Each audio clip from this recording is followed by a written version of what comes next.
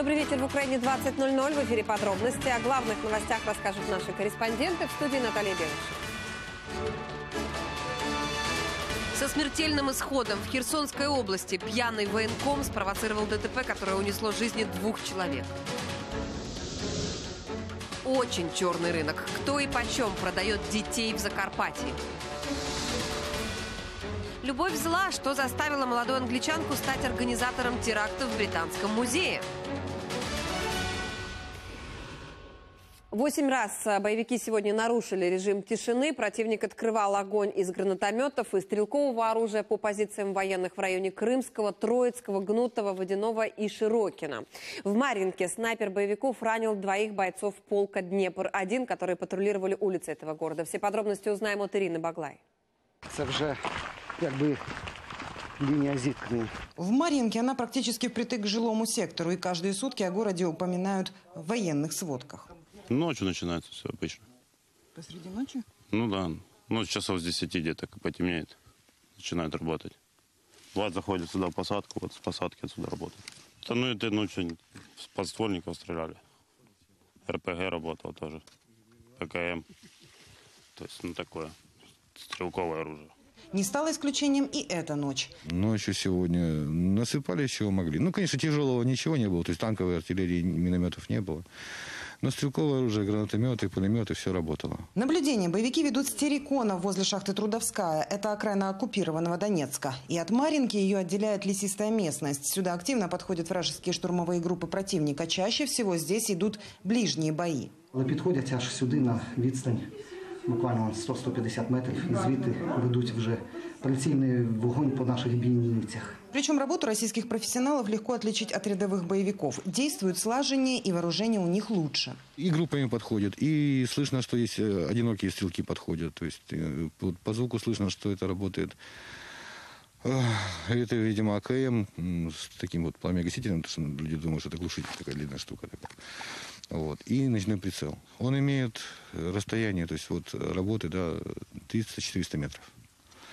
То есть м, дальше с ним не имеет смысла работать. Поэтому, когда человек работает с ночным прицелом, значит, он где-то здесь недалеко. И хотя минометы противника молчат, запрещенный калибр боевики используют. Ось такий подарунок нам прилетів. Зі сторони сепаратистів, виходить, не взорвалось. Ось як бачите, переходник робиться витача спеціально. До РПГ, виходить, вставляють вмісто обичного заряду стандартно і пускають по нам такі подарочки. Активизацию врага на своем участке фронта пехотинцы объясняют недавней ротацией. Прощупывать армейцев стали и днем. Тут вдруг и днем на нас насыпают теперь, и ночью. То есть они еще не поняли, куда они пришли, они проверяют наши позиции. Днем стало опасно ходить даже по улицам города. Працюють снайпери, і останнім часом активізувалася їх робота. Видно, що відбувся випуск в школі снайперів в Росії, і вони зараз відпрацьовують тут свої іспити. Так и сегодня утром на одной из улиц ранения получили двое бойцов полка «Днепр-1» во время патрулирования. От смертельного попадания снайпера одного из них спас бронежилет. Ирина Баглай, Андрей Костюк, Руслан Ревюк из Донецкой области. Подробности телеканал «Интер». Украинский политзаключенный Александр Костенко находится в посольстве Украины в Москве. В Москве об этом в Фейсбуке написала уполномоченный президента в Минской гуманитарной группе Ирина Геращенко. По ее словам, планируется, что Костенко вернется в Украину приблизительно в понедельник-вторник, если на границе обойдется без сюрпризов. Я напомню, вчера крымский активист Александр Костенко вышел на свободу из российской исправительной колонии номер 5, которая находится в городе Кирево- Кирово-Чепецк Кировской области. Осужденного украинского режиссера Олега Сенцова в российской колонии посетил священник. Об этом сообщили в Федеральной службе исполнения наказаний России. Иерей предложил Сенцову побеседовать без присутствия посторонних или исповедоваться, но, э, как нам известно, тот отказался. Ранее сообщалось, что к Сенцову не пустили священнослужителя апостольской православной церкви. По словам первого вице-спикера Верховной Рады Ирины Геращенко, она пыталась передать через священника письмо для Сенцова.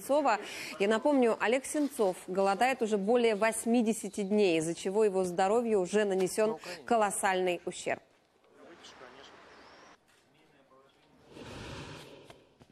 Угольная отрасль Украины должна работать ритмично. Так премьер Владимир Гройсман прокомментировал результаты правительственного совещания. Глава правительства напомнил, что неделю назад он потребовал план вывода угледобычи из кризиса. При этом подчеркнул, что для выполнения этой задачи необходимы инвестиции. В Украине 102 государственных шахты, но большинство из них находятся в зоне проведения ООС. Соответствующими действующими считаются лишь 33 предприятия из этих всех, а прибыльных из них всего лишь 4. Для того, щоб було збільшено видобуток вугілля, ми менше, щоб його закуповували по імпорту. Для цього потрібні ще інвестиції. Ми сьогодні пройшлись по всім етапам цього плану, і зараз до 1 вересня міністерство і міністр має сконцентруватися на пошуку необхідних фінансових ресурсів для того, щоб інвестувати в збільшення добичі і в ритмічну роботу всієї вугільної галузі. Я дуже жорстко поставив питання про те, що вся галузь має працювати абсолютно ритмічно, і це є безперечно відповідальність міністерства і міністра. Але я готовий повністю допомогти. В Херсонской области пьяный военком спровоцировал смертельное ДТП. Он сбил супружескую пару, после чего протаранил дерево. От полученных травм пострадавшие скончались. Водителя задержали. По факту нарушения ПДД открыто уголовное производство. В пресс-центре сухопутных войск сообщили, что виновником этой трагедии оказался майор Александр Андреев. Сейчас проводится служебное расследование. Четыре человека пострадали в результате аварии в Закарпатской области. Один из них находится в крайне тяжелом состоянии сейчас. На трассе Киев-Чоп возле села Ивановцы столкнулись три автомобиля. По предварительной версии, водитель «Фольксвагена» не справился с управлением и вылетел на встречную полосу. Вначале он столкнулся с «Мерседесом», а затем с микроавтобусом. Движение пришлось перекрыть на несколько часов на данной трассе. И еще одна смертельная авария на дороге в Одесской области. Женщина-водитель не справилась с управлением, когда пыталась объехать собаку. Машину на огромной скорости занесло, она влетела в отбойник. В результате ДТП погиб ребенок. Еще двое детей, которые находились в салоне, также пострадали. Сейчас они госпитализированы. Хорватия выделила 33 тысячи долларов на реабилитацию детей-переселенцев и детей из крымско-татарских семей. Об этом сообщили в правительстве балканской страны. Деньги уже отправлены на счет консульства Украины. Я напомню, ранее активисты обвиняли власти Краматорска в том, что те якобы отправили на отдых в Хорватию детей местных чиновников и бизнесменов вместо сирот и детей участников АТО. Скандал в Одесской области. В Малиновском районе девочку избили, девочки избили свою сверстницу. Они сняли это на видео и выложили в сеть. Родители пострадавшей отказались обращаться в полицию, но уголовное дело все же открыли. Как выяснилось, драка произошла 27 июля. Следователи установили всех участников этого конфликта. Это девочки 13-14 лет, которые учились в одной школе. Причиной такой агрессии стала ревность. Було встановлено місце, де відбувалося побиття дитини, а також усі учасники цього конфлікту. З усіх дітей було відібрані пояснення, а їх батьки були притягнуті до адміністративної відповідальності. Був встановлений мотив. Поліцейським відомо, що одна з дівчат зустрічалася з хлопцем. Потім ці стосунки були розірвані, і хлопець почав зустрічатися з іншою дівчинкою, з потерпілою. В Закарпатье женщина пыталась продать в рабство свою соседку вместе с ребенком. Мать с трехлетним сыном должны были заниматься попрошайничеством. Их оценили в две с половиной тысячи долларов. Преступницу задержали в Мукачеве, где она передавала соседей покупателям. За торговлю людьми этой женщине грозит до 15 лет лишения свободы. Мать и ребенок, которых пытались продать, сейчас находятся в безопасности, по крайней мере, так утверждают в полиции. Жінка, яку намагалися продати, вона 39 років має, теж жителька Мукачева. Вона є інвалідом третьої групи. Її чоловік помер, і от їхня сусідка вирішила таку жінку, яка не зовсім в хорошому стані здоров'я її дитину, продати за таку суму. Разряд в 10 тысяч вольт. Уже неделю врачи не отходят от девятилетнего мальчика, которого ударило током. Это произошло в городе Ватутино Черкасской области. Дети играли на улице, а стоящая рядом электроподстанция оказалась полностью открытой. Все подробности в материале. Ручка болить, так? Обидва плеча. Обидва? Добре, відпочивай. Возле его кровати постоянно дежурят врачи, медсестры и, конечно, не отходит мама. Тело девятилетнего мальчика пронзил ток в 10 тысяч вольт. Он с другом играл возле электроподстанции. Ребята решили посмотреть, что внутри. В результате Юра с тяжелой электротравмой, ожогами тела и лица попал в реанимацию. По словам врачей, больше всего пострадала левая рука. Ліва верхня кінцівка його була вражена струмом. Струм пройшов через неї, вийшов через е, ліву ступню. Е, кінцівка була е, в стані критичної ішемії з контрактурами згинальними. Тобто це ознака того, що травма дуже тяжка. Вот эта подстанция Ватутина, показывает бабушка Юры. Говорит, дверь была открыта, хотя рядом парк и пляж, где отдыхают люди. Була відкрита, були вибиті двері і все було відкрите. О том, что случилось, мама с бабушкой узнали от врачей и полицейских. Друг Юры позвал на помощь прохожего, который и вытащил пострадавшего мальчика, рассказывает бабушка. Звернувся, що з моїм другом щось сталося, бо там дуже гриміло страшно і ще й блискало. Накануне подстанцию обворовали, говорят в облэнерго. В последнее время кражи оборудования существенно участились. И ликвидировать последствия электрики не всегда успевают. Металозбирачі на сьогоднішній день рушать наші на сьогоднішній день лінії, забирають наше обладнання, про що ми одночасно ставимо до відома всі органи внутрішніх справ про крадіжки, які йдуть електрообладнання. Как уберечь людей от подобной беды, ломают голову местные власти. Говорят, сами оградить опасное место не могут. Электроподстанция не их собственность, да и денег нет. Міська влада теоретично е, могла б вплинути на такий е, варіант, але при умові, щоб у нас місто не було дотаційне. З свого боку, ми готові повністю співпрацювати е, з РЕМом для того, щоб унебезпечити наших мешканців від е, ударів електроенергією струмом, але ну в межах чинного законодавства. Пока инстанции разбираются в ситуации, Юра перенес уже несколько операций. Часть пострадавшей руки врачам пришлось ампутировать. Мальчик – единственный сын у мамы. Она, как и бабушка, работает в местном ЖЭКе дворником. Тривало лікування, о, я одинока мама, сама я нічого не можу потягнути. В перві дні всі гроші вийшли, які в нас були. Слава Богу, що є добрі люди і всі допомагають. Юрий еще лечится в лучшем случае два месяца. Здесь, в больнице, мальчик встретит и свой десятый день рождения. Анастасия Крылатова, Михаил Коваленко, Николай Ус. Подробности телеканал Интер, Черкасская область. Хотели как лучше, а получилось как всегда. В Николаеве скандал вокруг строительства дренажной системы. Работы, которых люди ждали целых шесть лет, теперь вызывают у них протест и непонимание. Почему, расскажет Марина Михайловская. Бывший поселок Горького теперь один из микрорайонов Николаева. Много лет дома здесь подтапливали грунтовые воды. В 2012-м местные власти наконец разработали проектную документацию на строительство дренажной системы. А вот деньги появились только в прошлом году. И за это время ситуация изменилась. В 2012 году закончилась постройка дренажа в Широкой Балке э, города Николаев. И это в- с 13 начала 2013 года проблема эта ушла совсем. То есть воды грунтовой нету. Есть колодцы, глубина 6 метров, сухо. Но чиновники учитывать это, видимо, не захотели и провели повторную экспертизу. Объявили тендер, выделили почти 14 миллионов гривен и осенью начали строительство. Однако из-за плохой погоды работы приостановились.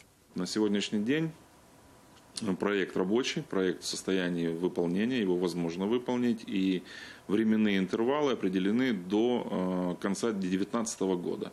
Стройку возобновили в июне. Пока из трех запланированных километров трассы проложили только 500 метров. На этой улице работы вроде бы закончили. Канаву засыпали, а вот до асфальта дело не дошло. Дощ, болото, все нам вийти ніяк. Ми по уха в грязі ходимо. От. Хто нас питав до Нового року, коли вони влізли, Бог зна куди, попровалювалося все. А здесь стройка в разгаре. Все разрыто и перекопано. Добраться до домов можно только пешком. Ни скорая, ни пожарные доехать сюда не могут. Жители соседних улиц опасаются, что тоже окажутся в такой ситуации.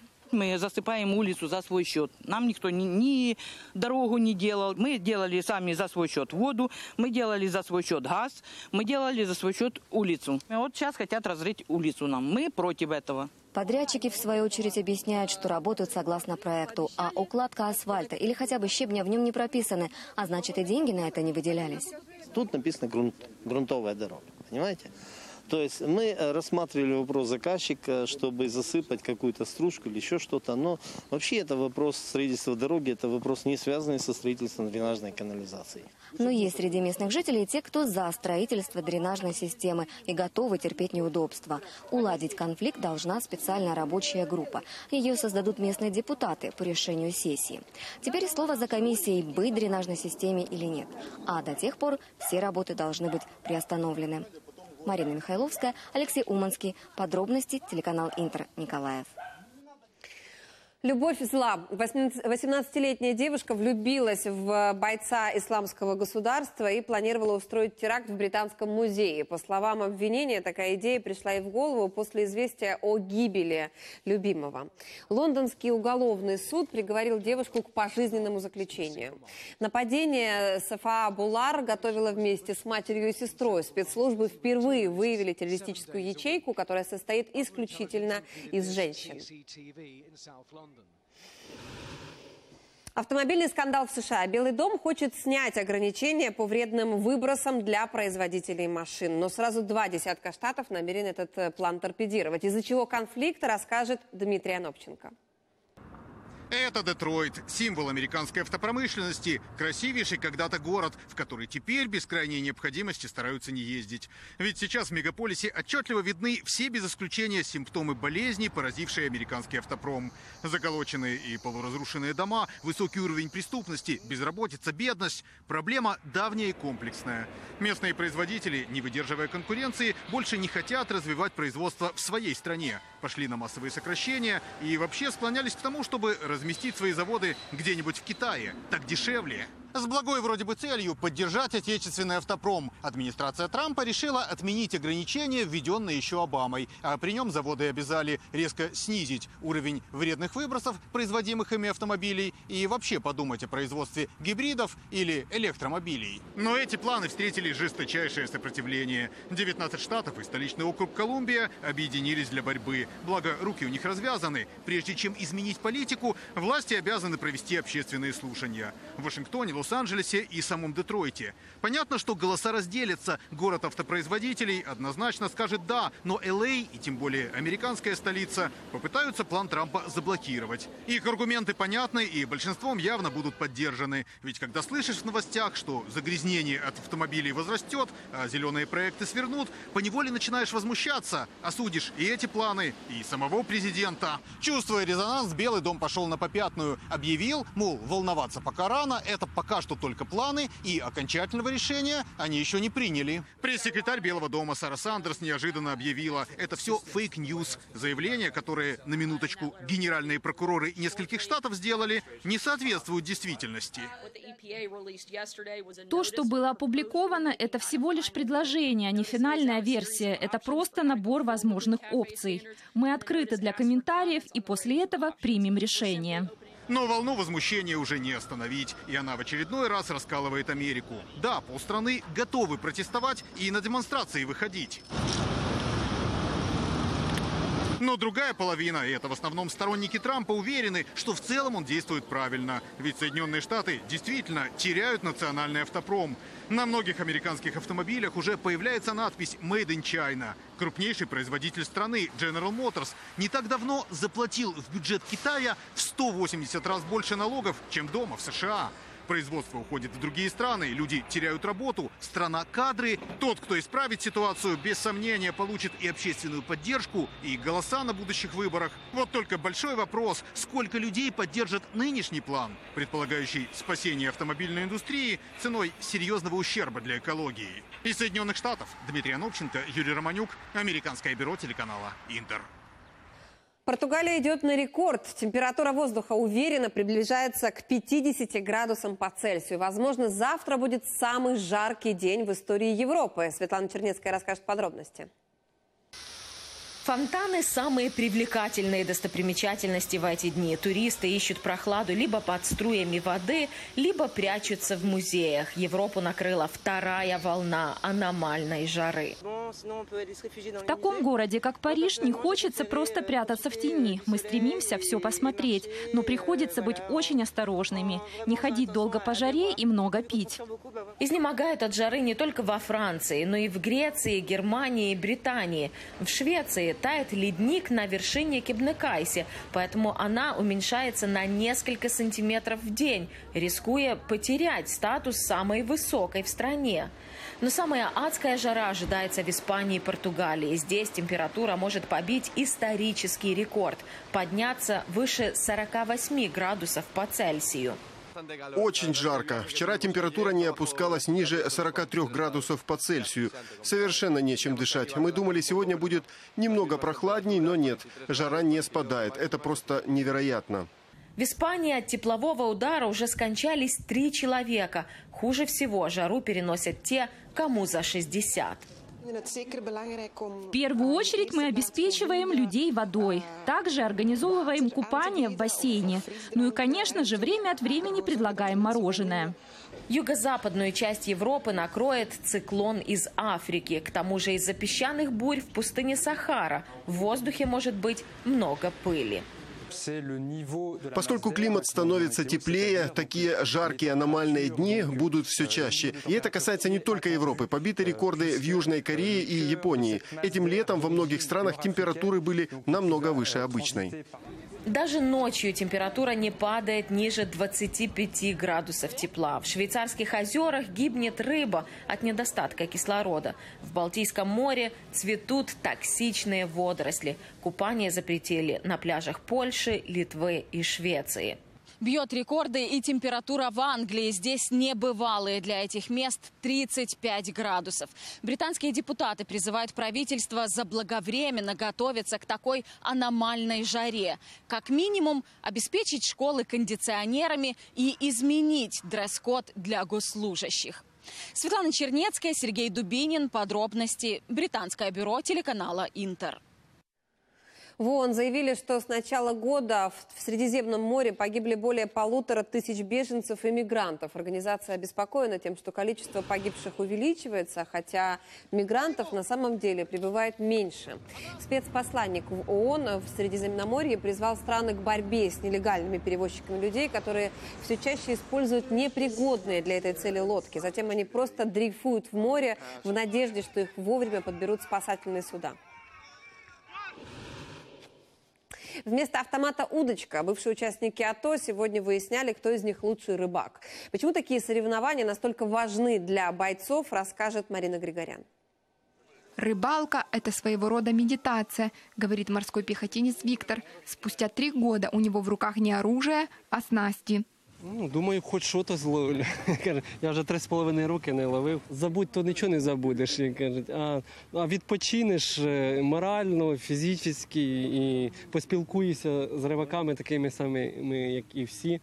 А для Игоря ловля рыбы не просто соревнование, а еще и время для общения с семьей. Закинув удочку, он рассказывает сыну о военной жизни. Син прийшов мене підтримати. Я вважаю, що дійсно такі мероприємства потрібні, тому що це допомагає нашим воїнам, які зараз боронять державу, якось реабілітуватися, спокоїтись з сім'ями так же само, бачите, щоб постійно. Я отримую задоволення на даний час. Тому що мені це подобається. Сын Ярослав пытается во всем подражать отцу. Я дуже чекав цього, щоб мене батько сюди привів, і я дуже хочу його підтримати. У мене дуже гарний настрій. Він е, дуже заслуговує великої поваги, тому що він дуже багато працює на роботі. Рыболовный турнир для участников АТО организовали в Гастомеле. Першим, що я зробив, коли повернувся з Дебальцево, це я виїхав на рибалку. І три дні я пробув біля водички. Це була для мене реабілітація і най, най, найкраща реабілітація, оскільки вода нічого так не заспокоює нервову систему, як вода. Людина зосереджується на поплавку, там на водичці, спокійно відпочиває, тиша, спокій. і якби може себе спокійно чувствувати. Победителя традиционно определяют по общему весу улова. Отдельный приз за самый крупный экземпляр. Чтобы более-менее было честно, мы в этих обоих категориях будем определять победителей первых трех лучше, лучше всех, которые будут результаты. В рыбалке без удачи сложно. Марина Григорян, Вадим Свиридонов. Подробности телеканала Интер. Пять телеграмм по-шотландски. В Эдинбурге стартовал крупнейший в мире фестиваль искусств. Что предусматривает так называемая неформальная часть программы, знают мои коллеги. Ежегодно в течение трех августовских недель в столице Шотландии проходит самый масштабный фестиваль искусств в мире. Его открытие – это отдельное красочное событие. В этом году 15 тысяч зрителей собрались перед зданием Ашер-Холл, чтобы посмотреть представление. Из-за огромного скопления людей властям пришлось перекрыть движение по улице, где проходило действо. Посмотреть действительно было на что. Известная студия театрального дизайна представила новое шоу, которое называется «Пять телеграмм». Это совместная работа с композитором Анной Мередит. В течение 25 минут зрители могли наблюдать за движением неоновых огней под музыку. Эти световые проекции кажутся огромными абстрактными вспышками, но они следуют музыке и точно отображают ее. Эдинбургский фестиваль – это общее название. Программа предусматривает и так называемую неформальную часть. Она появилась благодаря театральным трупам, которые выступали на улицах города. Фестиваль был основан в 1947 году, сразу после Второй мировой войны. Это был наш ей ответ. Таким образом, мы хотели снова объединить Европу. Эдинбургский фестиваль уникален. Здесь одновременно представлены театральное, оперное, танцевальное и музыкальное искусство. Проводятся концерты классической, оркестровой, камерной и вокальной музыки. Директор фестиваля лично высылает приглашения коллективам. 2018 признан в Шотландии годом молодежи, так что вы увидите молодежь и на сцене, и среди участников, и среди зрителей. Это отличный шанс узнать, каким молодое поколение видит этот фестиваль и к чему приведет его руководство. Ольга Теребинская, Оксана Гашева. Подробности. Телеканал Интер. В мексиканском сафари-парке сафари -парке штата Пуэбло на автомобиль с посетителями набросился носорог. Видео этого происшествия в сеть выложил водитель. По его словам, сначала самец атаковал зебр, а потом его целью стала машина. Руководство парка заявило, что во время происшествия никто не пострадал. Агрессию носорога объяснили стремлением животного произвести впечатление на самку. Сейчас носорога-драчуна поместили в отдельную секцию.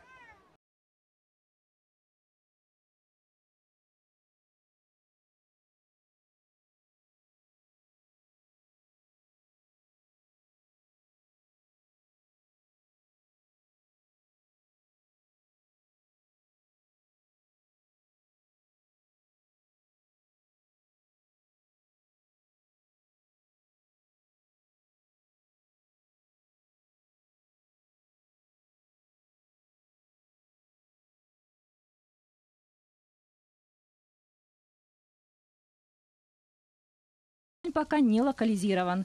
Если пострадавший от стихии, пока неизвестно. Ребята, которых спасли из затопленной пещеры, покинули монастырь. 11 юных футболистов и их тренер были послушниками в буддийском монастыре 9 дней в знак благодарности за свое спасение. Кроме того, таким образом они почтили память дайвера, погибшего во время спасательной операции. Цифра 9 не случайно. Именно столько дней ребята с тренером находились в пещере, пока их не обнаружили спасатели. Теперь подростки вернутся к спортивным тренировкам. На испанской Майорке пришлось эвакуировать туристов с популярного пляжа Кала Домингос. Причиной стала трехметровая голубая акула, заплывшая на мелководье. В момент появления непрошенной гости в воде находилось много отдыхающих, в том числе маленькие дети. К счастью, люди отделались испугом. Для акулы же все закончилось трагично. Биологи и полиция попытались проводить хищницу дальше в море, но не получилось. В итоге ее вытащили из воды и попытались эвакуировать с пляжа. Но акула умерла. Теперь защитники животных требуют пояснений, почему это произошло. Уникальный мастер работает в одной из парикмахерских Буэнос-Айреса. У 21-летнего Габриэля Еревии от рождения отсутствуют части рук до локтей. Тем не менее, это не помешало ему пойти по стопам старшего брата парикмахера и стать не менее искусным мастером. Парень говорит, сначала тренировался на домочадцах, а потом приступил к работе в парикмахерской. По его словам, даже самые требовательные клиенты в восторге от результата. 28-летняя женщина из города Херсхольма стала первой жительницей Дании, которую оштрафовали за ношение мусульманского головного убора в общественном месте. По данным местных СМИ, полиция остановила женщину в торговом центре. Уведомление о штрафе в размере 1000 крон, это 134 евро, ей поступит по почте. 1 августа в Дании вступил закон, запрещающий жителям страны скрывать лицо в общественных местах.